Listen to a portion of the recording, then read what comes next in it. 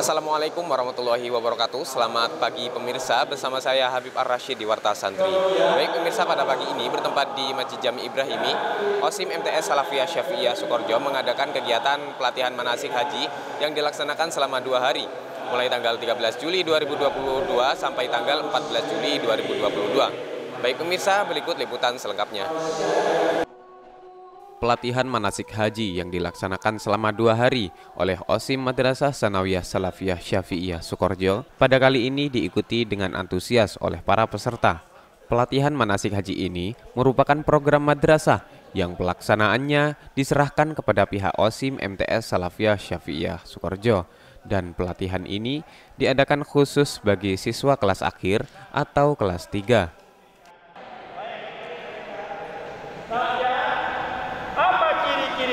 Kalau dulu tahun 90-an ini di bawah ada marmer ya di garis dari marmer itu warnanya coklat lurusnya ada suatu sana yang memanjang ke sana. Jadi kalau orang yang tahu di sebelah sini nyampe di coklat Bismillahirrahmanirrahim. Ya. kalau di sini yang nyampe di sini Bismillahirrahmanirrahim. Dulu di bawah ada ada apanya? Ada uh, marmer warnanya coklat ya itu lurus dengan hajar warna. Sekarang marmernya semuanya warnanya putih. Tidak ada warna warna Bagaimana caranya? Sekarang diganti dengan lampu di sebelah sana tenggara itu di masjidnya itu di tenggara ada lampu sorot itu yang lurus dengan ini lampunya warnanya hijau. Ada paham ini rombongan juga apa hajar aswad. Ketika kamu sudah berada di posisi ini lurus dengan atau kena lampu warna hijau berarti Anda sudah masuk di tempat memulai tawaf. Bisa dipaham ya? Jadi ya. Sinilah Anda memulai Bismillahirrahmanirrahim. Begitu. Nah, Bismillahirrahmanirrahim. Nah, gitu ya. Baik pada pagi hari ini kami dari organisasi siswa mitra madrasah SMPS Salafiyah Sekolah Sekolah Sekolah mengadakan pelatihan manasik haji yang di mana diikuti oleh kelas 3 MTS khususnya semua kelas 3 jadi kegiatan ini sebenarnya diagendakan oleh madrasah akan tetapi yang mengambil alih untuk pelaksanaan ini adalah USIM MTS sendiri yang melaksanakannya jadi eh, kegiatan manasik haji ini bertujuan agar di mana uh, siswa ini sudah ada ilmu untuk uh, yang bisa dibawa ketika bermasyarakat. Karena manasik haji ini saya kira sangat penting untuk diketahui oleh siswa, apalagi rata-rata kelas 3 ini adalah mau rekom semua. Jadi uh, harapan dari kami dengan terlaksananya uh, manasik haji ini kami berharap semua siswa ini juga bisa berangkat haji ke Baitullah. Itu salah satu kenapa kami mengadakan ini.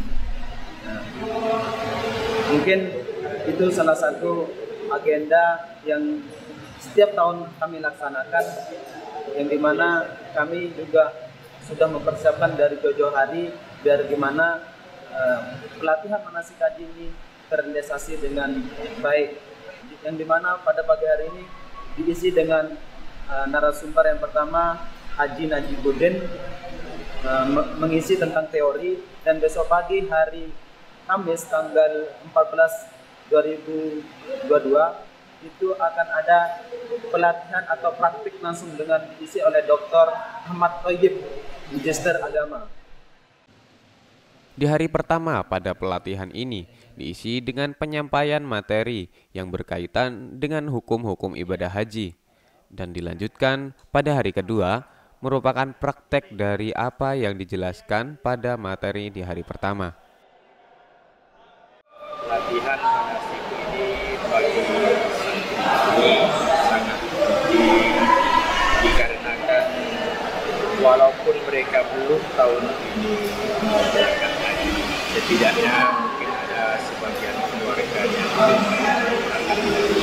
maka mereka itu bisa dibimbing, diarahkan bahwa haji ini yang tidak boleh, bahwa itu syaratnya harus ini dan sekalipun apa sebelum tahun ini juga berangkat apalagi haji ini merupakan rukun Islam yang kedua kita sebagai umat Islam wajib untuk tahu tentang ibadah sekalipun belum apa mau melaksanakan. Nah, itu sangat penting sekarang dan di samping itu kita perlu paham itu karena mungkin bisa membantu tetangga terutama yang awam-awam itu penting sehingga penting sekali. Dan ini untuk haji makanya tadi cuma sekedar materi-materi saja teori-teori saja. Alangkah penting kalau yang hari berikutnya itu nanti bisa diikuti dengan prakteknya bagaimana tawaf biar mereka bisa mengajari sekalipun belum tentu berangkat tahun ini mereka sudah tahu oh tawaf ini harus begini boleh begini yang dilarang begini itu penting sekali. Jadi bukan hanya sekedar teori tapi perlu diikuti juga dengan praktek